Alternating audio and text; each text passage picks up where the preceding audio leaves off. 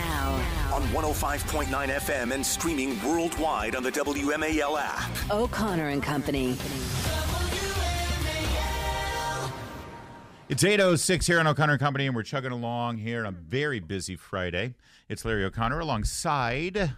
Patrice Onwuka. That's right, that's you. on a Friday. It is a Friday, Yes. and we're getting into this springtime uh, in a big way Yeah. with your uh, a lot of people going on spring break. So hopefully we're Uh-huh. getting you launched into that and uh, getting a smile on your face. Michael Rivera, by the way, who ran for Loudoun County School Board, he was at that meeting yesterday about Oh, yeah. turning the cameras back on. He's going to tell us what happened in about 10 minutes. Okay. Uh, But first, did you see this video? Jennie Taer, who had uh, recently been at the Daily Caller News Foundation, um, and now is she uh, working for the New York Post now, covering the border? Oh, good for her.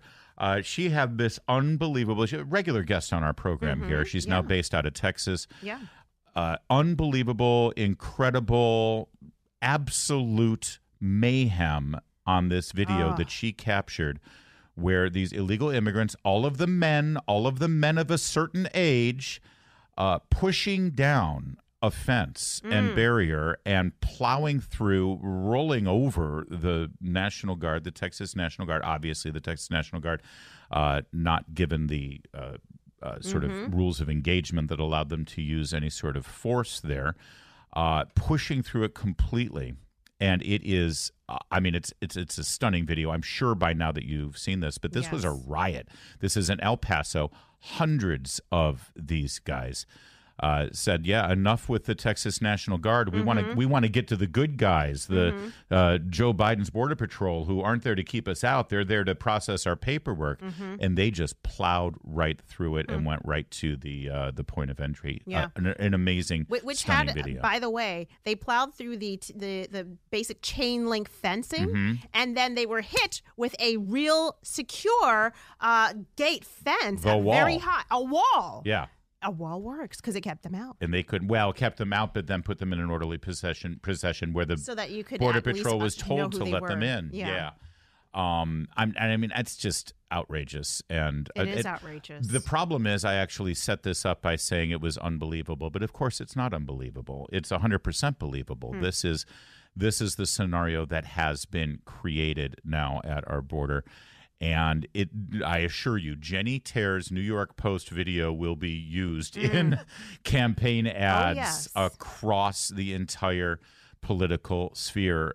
If if Republicans are smart, and sadly that is a huge, huge if. Now, Spencer Brown, my colleague over at townhall.com, has Mm-hmm. a really interesting analysis of some new polling data specifically on Hispanic voters. okay.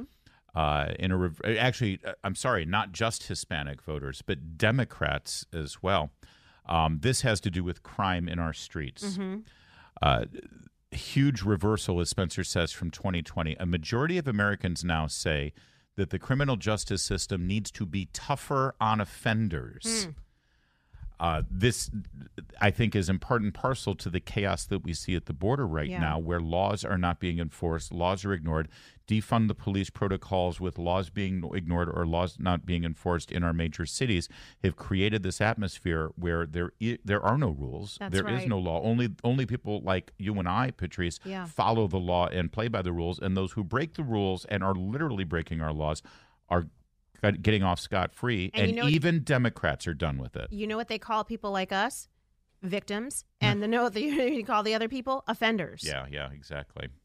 You're 100% right. And that's and so that that plus the border I think is starting to really gain momentum in terms of the political messaging this year and and what are winning issues. Finally this one uh, CNN here, let me give you the do we have the audio on this? Uh, hang on, I will give you the audio. This is on recent poll data having to do with the border. Uh, because you know Joe Biden and Democrats, they want to go on television or they want to give their speeches and they want to say, "Oh yeah, the border's a problem, all right, but it's all Republicans' fault because they didn't they listened to Donald Yeah. Trump, who wants there to be border chaos, and they didn't pass our bipartisan bill." Right? That ain't going anywhere. They've been at that for two months now, Yeah, and it's three not months. working. It's not landing. no, and listen. You know, you might think, you know, that Hispanic voters might be the types of folks who would have a backlash against Donald Trump's remarks, right? Ain't the case. If you ask Hispanic voters who do they trust more on border security and immigration, Overwhelmingly, they trust Donald Trump more by a tremendous margin. Look at that 49% to 24%. And This is among Hispanic hmm. voters. Yeah. Who do you trust for border security and information? 49 to 24. Yeah. And the arrogance of this elitist journalist in New York City saying, would think. You would think that Hispanic voters, Yeah. because they just assume that Hispanic voters buy into their, their BS. but they- Mm-hmm. no, Hispanic voters know better than anyone about what's going on at the border and who's being harmed by these policies. Exactly. Well, Hispanic voters, like black voters, not monoliths, Hmm. and their experiences are different, and they also view issues differently than the left wants to paint them as. And so, when you're his, when you're Hispanic, you know that the illegals coming into the the illegal aliens or illegal migrants coming into this country, they're going to be released more than likely into your communities. And if these are folks that have criminal records and criminal intent, um, you are the one who may be, your house may be violated. You may be the one who's uh, assaulted on the street. You Yeah. may be the target of their their criminal activity. And so you know, and you also recognize that you came here legally. Your family members came here legally, and you understand the process. And you understand family members at, back at home who are still stuck in the, the, the government labyrinth trying to get their uh, their case to this country so that they can join you legally. Listen to the sound of the chaos from Jennie Taer's video of this, uh, well, it can only be described as invasion, this mob of hundreds plowing through the chain link fence uh, set up by the Nas- Texas National Guard.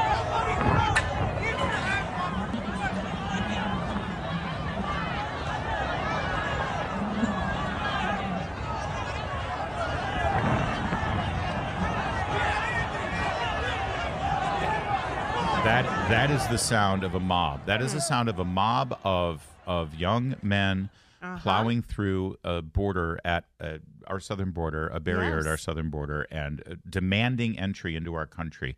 There's a word for that. It's invasion. Uh, Democratic Representative Pete Aguilar on the Hill yesterday. a reporter had the video on Yeah. her phone and said, "Hey, take a look at this video. What do you think?" Look at this video. It's pretty dramatic. Yeah, I haven't seen the video. It's I'm it, I'm playing it right now. Yeah, all right, thank you. It's like, Head I in haven't the seen sand. it. I- yeah, all right, whatever. Yeah, have you seen this video? Uh, no, I haven't. Well, here it is. Yeah, I haven't seen it. No, I'm showing it to you right now. See you later. So the fact that They they are don't not wanna address it. no, they don't They don't because they know there's no answer. to it. There's Yeah. no answer. Uh, Democrat governor in is this in Massachusetts? Maura Healey. Uh, Maura yeah. Healey asking about an illegal immigrant in Mm. Boston who sexually assaulted a young disabled girl. Yeah. He asked Governor Healey if she can prevent this type of incident from happening again. You know, unfortunately, we have we have security and systems in place. We have vetting in place. Um, it is unfortunate that that you know from time to time things will happen.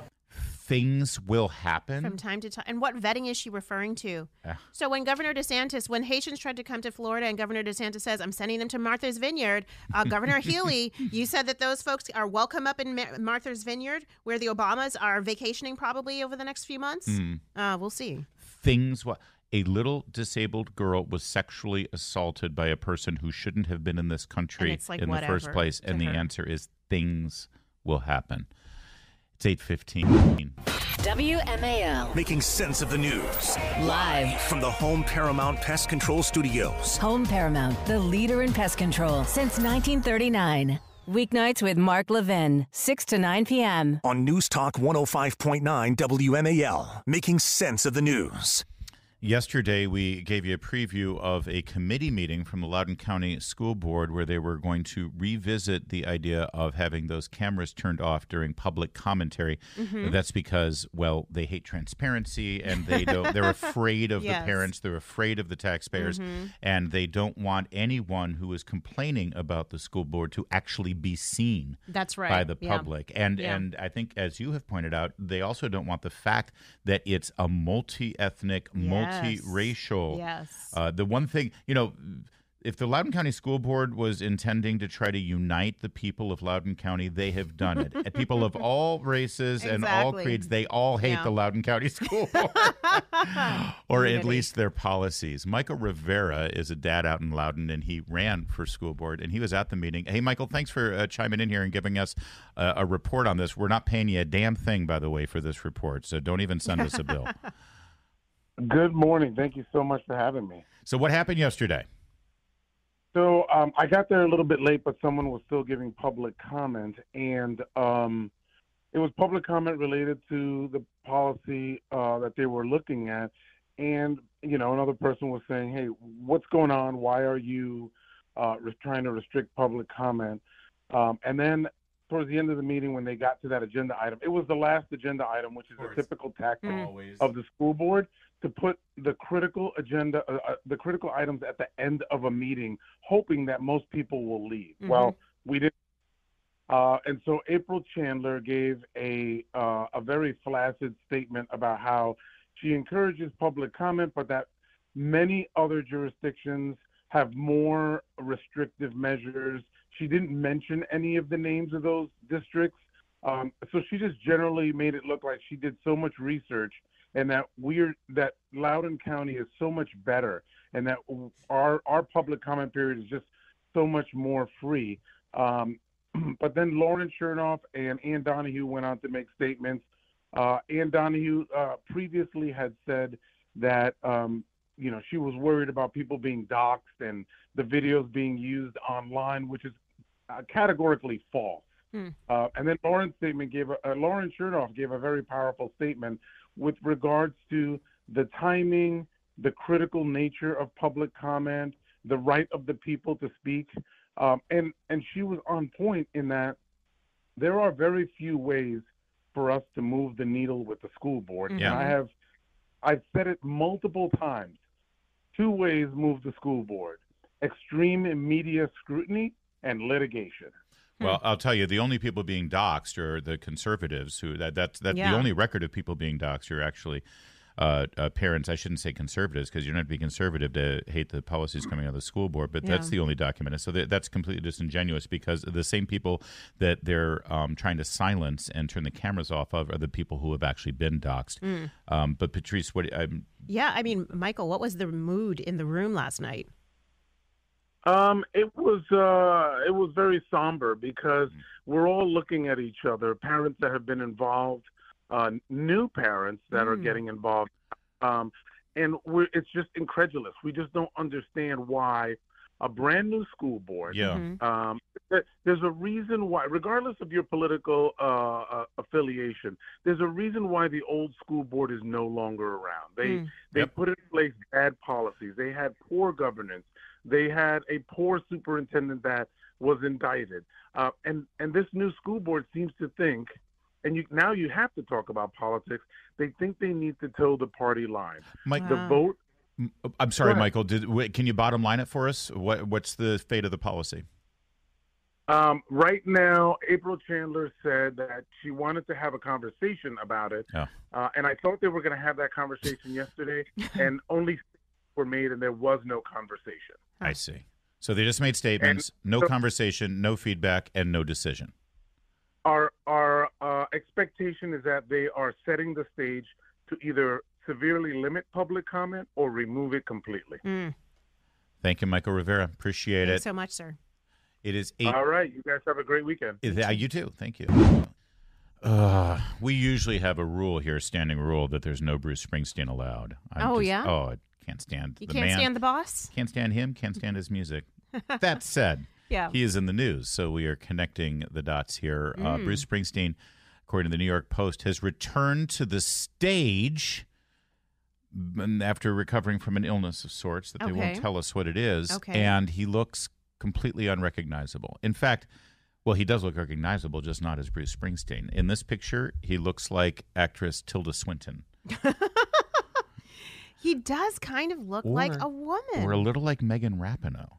Oh, I see it. Somebody tweeted up that we'll, we'll put this picture out on our WMF so you know what we're talking about. Yikes. Um, because he's got his shirt unbuttoned down to his midriff. For God's sake, you're 80 years old, man. Cover it up. And his um his chest sort of he does look like he's got a little boobage going on there. I think whatever his physical therapy involved, I think it also included estrogen. Well, uh, because his chest is smooth, not just hairless, but like wrinkle free. So. Oh yeah, no, that he's had a, a wax. So maybe there, like yeah. bo- no, I'm thinking maybe Botox in his pectoral muscles. Definitely Botox up here and up Uh, here. Yeah. And I don't know what's happening there, but he's just a bizarre human being. well, you know, life will do that to you. He, He's going to change his name from Boss to Lady Boss. Boss Babe, is that the next next one? That's weird. Uh, the E Street band. The, No Yeah. one knew, but E stands for estrogen. I had no idea. Or effeminate, perhaps. Ah, I mean, he was so. I mean, seeing other pictures, he was fine when he walked out with his shirt buttoned up. But then it's the angle tilted back with the the chest out that makes him look very feminine. Um, and his yeah, his physique. Was, Now fully healthy, Bruce Springsteen rejoined the E Street Band and launched his 2024 tour with an epic 29 song performance in Phoenix on Tuesday night. Here's what I'm thinking. You know, Mm-hmm. everyone makes fun of Mick Jagger when he goes out for his, you know, uh, the tour sponsored by First Alert. I followed and I can't get up because he's like, uh, I, I believe, 110 years old now, but he's still rocking, right? He hasn't had work done, and so he looks Okay, like he looks yeah. like an old man, but he still moves great. It's like, Yeah. and it's and he's embracing it. and he's got one thing over Bruce Springsteen, and that he actually plays and sings good music, the Rolling Stones, as opposed to this garbage. I'm sure you're gonna get some some Twitter action, some X.com action. I am fine with that. I will go to the grave on this. Bruce Springsteen is a talentless hack. It's 8:30. WMAL FM, Woodbridge, Washington, a Cumulus media station. Making sense of the news. News Talk 105.9. Now, On 105.9 FM and streaming worldwide on the WMAL app. O'Connor and Company. 8:37. We're gonna hand it off to Chris Plante coming up in just a little bit, about half an hour. But uh, Patrice Onwuka, we Yeah. still have more to say, don't and we? it's still a Friday. It absolutely is. So MSNBC, but you know, I often joke about the fact that um, everybody has a podcast. I mean, there's so many. There's so many out there. It's just ridiculous. yeah. And you know, and and there is a difference, you know, between podcasting and broadcasting. Absolutely. Do you know what the difference is? we are unscripted. It, a broadcast is unscripted. It takes uh, innate talent. It does. And, You're not watching the clock. skill sets that you don't exactly. It, it, but podcasting is just pl- buy a mic at the drugstore, plug it into your computer, and Yeah. start talking. Yeah. That's what podcasting. That's what a lot of people are doing these days. Exactly. Okay, I'm a little jealous. Ah. 'cause they can do it in their pajamas. Uh, that said, Mm-hmm. sometimes you come across a podcast that is like, "Oh, come on, seriously, this is this is what we're doing here, and Uh-huh. this is this has th- everything about this." First of all, it's produced by MSNBC. Okay, so it's going to be informative, right? Truthful. It's a man and a woman sitting in a room reading the indictments of Donald Trump. What? reading the indictments of Donald. There, MSNBC isn't even in the business of news anymore. It's like an anti-Trump group therapy session. It's like the only reason to put this out there is to make liberals feel this sort of weird cosmic them up again. orgy of hate against Trump and more importantly Trump's voters. A- Anytime things start to look better for the president, oh, we got to be rem- we we have to be reminded by MSNBC why you shouldn't feel anything for him. But here's the thing it's not just any man and woman, of course. They got a star studded cast. It's Glenn Close and Liam Neeson. And somehow they've even made Liam Neeson sound boring. perpetrated three criminal conspiracies. A. The conspiracy to defraud the United States by using dishonesty, fraud, and deceit to impair, obstruct, and defeat the lawful federal government function by which the results of the presidential election are collected, counted, and certified by the federal government in violation of 18 United States Code, Section 371. B. A conspiracy to corruptly obstruct B. It's, ah, like this would only make sense if he throws this paper down, pulls out like a a, a, a Glock, and then shoots a, a, a, somebody coming through the door about to assassinate him. That I would. That's a podcast I'd be interested in. you mean like this? I don't know who you are. I don't know what you want. If you are looking for ransom, I can tell you I don't have money. But what I do have are a very particular set of skills. If you're looking to challenge the electoral results of Pennsylvania, then I'm going to have to use those skills against now you. Now that's a podcast I would listen to. How how sad and pathetic is your life that you would download Liam Neeson and Glenn Close reading the indictments against Donald Trump? That is what happens when you have Trump derangement syndrome. I never use that term, but some people actually do have it, and this is this is their therapy session, their take home homework assignment. Up until this moment, you know, they, they say there's certain actors where, well, that person could just read from the phone book and it would sound amazing and dramatic. By the way, kids, a phone book is a book that we used to get that had people's phone numbers. in Yeah, the government would send it to us for free. Um, the, uh, the, but and I would say Liam Neeson is one of those guys. He's got one of those voices. He's one of those intensities. But now here we go. We've given him basically the proverbial phone book to read. 512K. And C. A conspiracy against the right to vote and to have one's vote counted in violation of 18 United States Code, Section 241. Each of these conspiracies, which built on the widespread mistrust that You, you gotta believe that he got a ton of Oh, money I sure hope to do so. this. Because why else would he do? Why else would you sit down and read U.S. code? When you're Liam Neeson, and I think there was a point in Liam Neeson's career where he just said, "I'm just going to do whatever movie they ask me to do so I can make money." Michael Yeah. Caine, I think, also went through that. Oh, really? Okay. well, it's funny when you look at the, some of the characters they played. Sure, in it these like fair. yeah. Hey, th- well, the check cash, sure, I'll show up and I'll do it. But then he does things like he understands who he is. He Uh-huh. understands what role he plays. Like, did you ever see? You know, it's not a movie for families. Um, Okay. Ted. You ever seen the movie Ted? Uh, No. Mark Wahlberg and the little teddy bear. Oh, I've seen the ads. It- that is not a family that is, friendly That is not a family. I know it looks like it's for kids. It's not it's for not. kids. And then in Ted Two, Uh-huh. Liam Neeson does a cameo that is exquisite. I'd like to ask a few questions about this breakfast cereal. I've been led to understand that tricks are exclusively for children. Is that correct? Well, I, I mean, they say uh, tricks are for kids in the commercials. but Uh-huh. Uh-huh. And is that enforced by law? Uh, not to my knowledge, no. So if I purchase these tricks, there'll be no trouble. No, no, you, you, sh- you should be fine. You do understand that I myself am not a child. I, I was able to sniff that out, yeah. Okay, I'm going to bring these back to my apartment. Uh, yeah, yeah, you'll, you'll be okay. And uh, I won't be followed. Uh, no, that's, that's not in our budget here. That's not in our budget. Don't forget what you've done for me here today. I would prefer that you do. See, I would. I want to think that when they Yeah. proposed this to Liam Neeson, they said, "Here's what we want you to do, Liam. You can do it from home. Here's a Hmm. microphone to use. Just record this thing." I want to think that he thought it was a parody.